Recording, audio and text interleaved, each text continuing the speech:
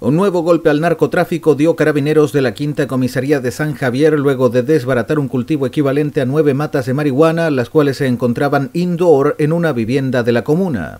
Bueno, en la población San Enrique se efectúa un patrullaje preventivo por parte de los motoristas acá de nuestra unidad, procediendo a fiscalizar y efectuar un control de identidad a una persona adulta, sexo masculino, el cual al efectuar también una revisión de su vestimenta se pudo incautar desde el bolsillo derecho un frasco contenedor de cannabis sativa.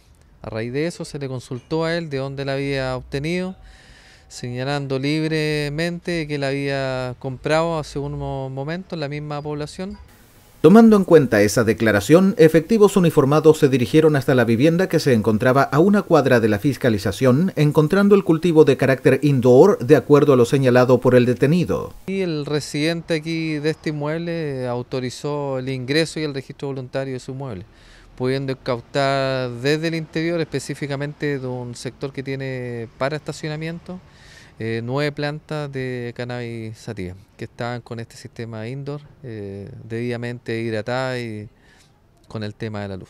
A consecuencia del hecho, el residente de 26 años, identificado con las iniciales AAAV, fue puesto a disposición de la justicia, al igual que el comprador previamente detenido, individualizado como LPMR de 25 años, ambos con domicilio en San Javier. El producto de estas matas estaba destinado a la comercialización. Claramente sí.